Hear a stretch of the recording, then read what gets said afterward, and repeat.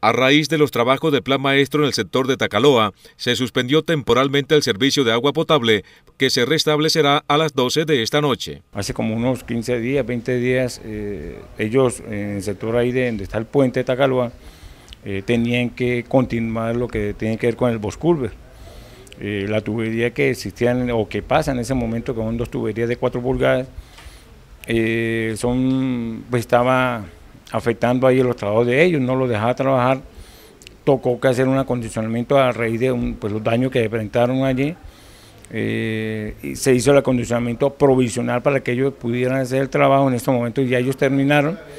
Eh, nos toca nuevamente volver otra vez a,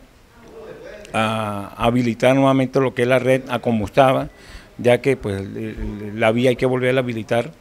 y eh, pues en el día de hoy se están ejecutando los trabajos. Los barrios afectados temporalmente son el Palomar, Cristo Rey, Ciudadela Deportiva, Camino Real, Álamos y Barcelona, entre otros.